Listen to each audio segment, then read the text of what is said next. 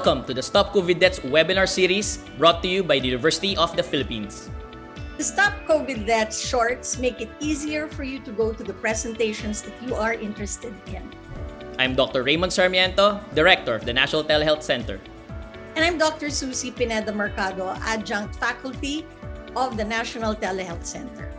Together, let's, stop COVID deaths.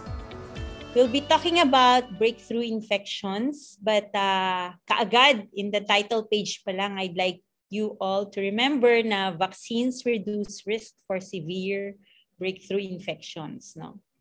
So um, I, I'm sure we are all on the same page that the COVID pandemic has affected every aspect of our lives. And actually, the number of confirmed cases and the number of lives taken by this virus is really, really phenomenal. No? So what I'll do is I'll just get some uh, very important landmark documents from the United States, yan, from UK, from Israel, from Indonesia at saka from the Philippines. Iniisip ko how I will uh, talk about breakthrough infections kasi parang ang dami-daming information.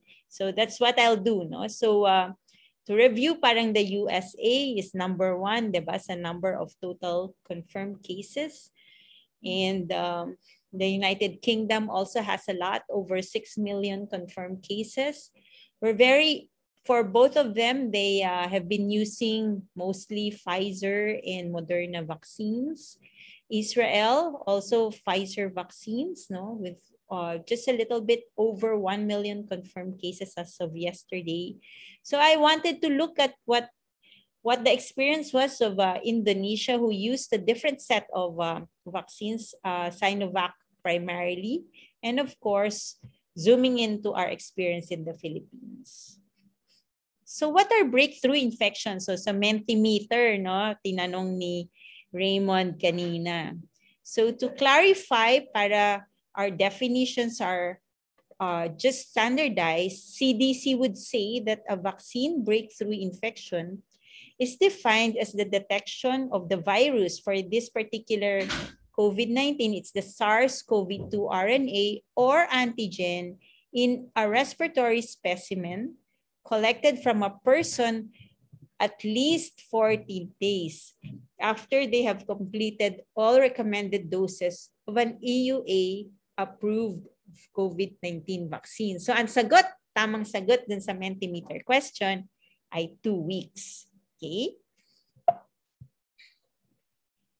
Now, um, so going to the experience in the US, I think this particular uh, paper that came out very recently, this month actually, on uh, breakthrough infections actually happened in Massachusetts outbreak. So it narrated what happened, what led to all of the breakthrough infections. So, di ba, when they started to uh, be able to rapidly give a lot of uh, vaccines to many of uh, its citizens, the United States actually um, brought down a little bit the degree of restrictions that they had. So they allowed uh, people to go outside already without masks and have some kind of uh, public events uh, in different parts of the country. So in Massachusetts, there was an outbreak that was documented from July 3 to 17 very brief lang to, two weeks. Tapos kinalangan na nila i-control kasi they detected them already following multiple large public events in a county in Massachusetts.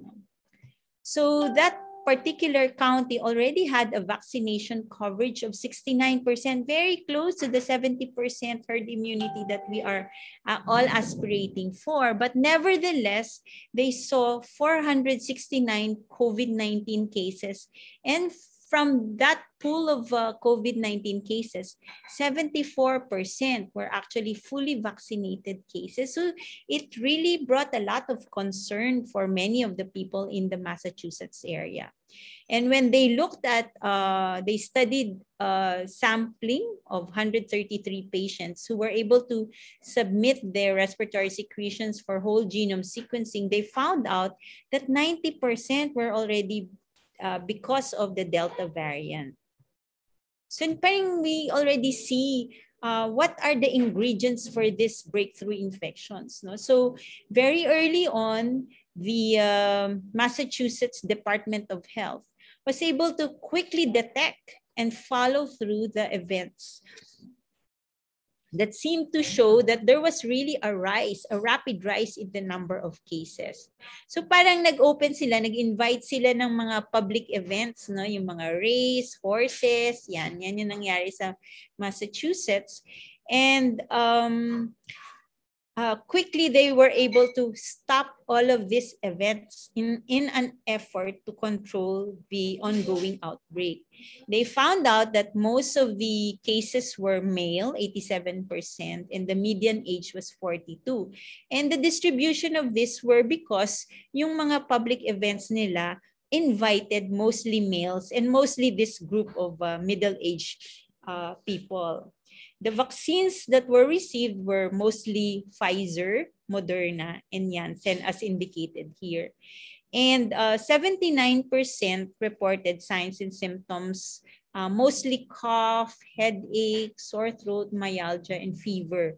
They said that most of these were mild. Uh, only four of all of these cases had to be hospitalized. So mababang mababa yung hospitalization rate, which was only 1.2%, and no deaths were reported. But because of this, uh, uh, they also uh, uh, tried to uh, compare um, the CT values of, um, CT value is a number we use in infectious disease. When we're trying to see just how in infectious or communicable certain samples are. And usually the lower the CT values are, the lower, that means it only takes a few cycles for the machine to detect the, the virus in the sample. So ibig sabihin mas madami na siyang virus. The viral burden is heavier when the CT values are low. So you would see here that it didn't seem to matter kung unvaccinated or vaccinated yung individuals, no? So uh, the infectiousness looked the same. So what happened? Because of that very part, uh, very important uh, outbreak and the subsequent uh, paper that came out from describing the experience, the CDC now recommends that back na sila sa wearing of the mask. So CDC started to recommend that even if you are fully vaccinated, if you are indoor in public settings, uh, you should wear masks. No? And that reverberated throughout the country. And uh, yun nga, uh, there are more and more um, concern about this particular breakthrough infections. And we should really all continue to update ourselves. So maraming maraming information, mostly in news items, but there's also a good resource from the CDC, MMWR, to keep ourselves updated. Okay. Let's go naman to the UK, the United Kingdom um, experience. This is the paper I thought would help us understand better uh, what's happening with the breakthrough infection. So these are effectiveness against the Delta variants. So this is a this is a description of uh, symptomatic disease. The design of their study was a test negative design. And uh, the people who did this study uh, were associated with the Public Health England. Siya yung parang equivalent ng Department of Health natin. And you would see in this graph, they tried to map out um, the vaccine effectiveness for the Alpha and the Delta variant after the first dose and the second dose. And you would see na may malaking difference, no? So if we just receive the first dose, the protection is only around 30% to at most 50%. But it rises very significantly if we finish the recommended number of dosing. So although it doesn't match breakthrough infections, no, so don't get disheartened if you uh, get an infection in between the doses because that really happens because our level of protection is not yet full if we only stop at the first dose. We really should make every attempt to finish the uh, recommended number of doses. So here after the second dose, you would see that both for alpha and delta variants, the vaccines that this group of population received were effective up to 89, 79 to 89%. So the conclusion of this experience from UK is that there's high levels of vaccine effectiveness against symptomatic disease with the Delta variant. Uh, for if if for their population receive the Pfizer or the Astra COVID-19 vaccines. And um, that uh, there's reduced effectiveness if we only receive the first dose. So um, if you know of other people who might stop at the first dose or get disappointed because they got an infection after just the first dose, prod them to go and finish the second dose or the number of recommended doses. Okay. Punta naman tayo sa Israel. No? So sa Israel, I really try to look for this uh, um, information about uh, what they experience as breakthrough infections because Israel actually um, is the number one in terms of uh, coverage for COVID-19 vaccines. And the report here um, narrates to us the experience of the largest medical center in Israel, which is the Sheba Medical Center. At the time they did this study, the vaccination coverage was already 91% for their hospital. And this took place over 14 weeks from January to April of this year. So very, very fresh information. So they wanted to see uh, and identify every breakthrough infection, including asymptomatic infections among their healthcare workers. And it was a matched case control analysis. So what did they see? There were 11, ganun kalaki yung medical center nila, no? They had 11,453 healthcare workers. They were doing uh, PCR tests whenever the healthcare worker would be have been exposed or would have any symptom. And among this, they only saw 39 breakthrough cases or 2.6%. And um, uh, the characteristics of the healthcare workers who uh, developed this breakthrough uh, infections were mostly nurses, people who were coming in and out of the wards, like the maintenance workers, some allied health professionals, and physicians. The uh, average age was 42 years old, and there was some uh, increase in the incidence among women. Okay. The median interval from the second vaccine dose was 39 days. And only one person uh, was infected who had immunosuppression. Saan kaya nakuha yung infection, no, you would usually ask, where did the healthcare worker get the infection? So the Israel group um, described the breakthrough infection origins mostly from unvaccinated persons around the healthcare workers who were already fully vaccinated. So 57% got it from an unvaccinated household member like children or other household members who were still unvaccinated. And 30% got them from unvaccinated fellow, yung colleagues, no? fellow healthcare workers or patients. And um, they were able to track seven healthcare workers who were linked to a patient who had the alpha variant. At the time kasi, uh, alpha variant pa yung predominant in Israel. Okay? And again, when they describe the severity of the symptoms, 67% were mild and the rest were asymptomatic. So very, very mild, no? Kung meron man, mild mostly. Non-required hospitalization and the most common symptoms were upper respiratory congestion, myalgia, loss of smell or taste, and 21% reported fevers or rigors. What happened to them? So uh, it said that uh, 31, after the 14 days, some still had residual symptoms.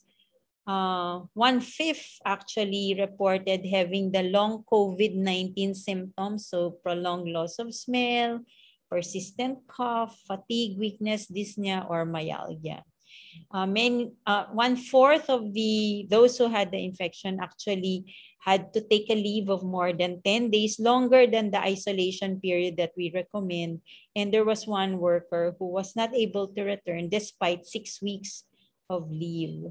So ang conclusion nila was, oh, the variants of concern, as I said, mostly were uh, alpha variant because at that time, 94.5% of the Israeli uh, samples had uh, the alpha variant.